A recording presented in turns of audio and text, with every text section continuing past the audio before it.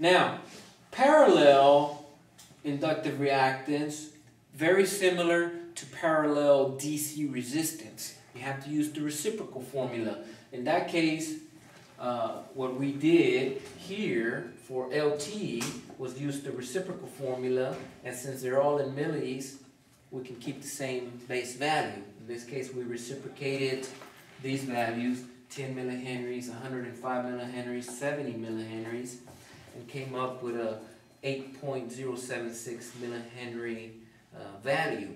Plug that into our total inductive reactance formula, 2 pi FL. In this case, it's 2 pi times 60 times this value.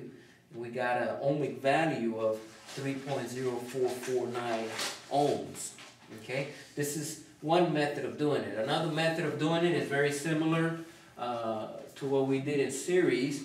Find each inductive reactance of the component and then reciprocate it like, like we do in parallel. And we'll see that we get the same answer, 3.0449, 3.0449. Okay.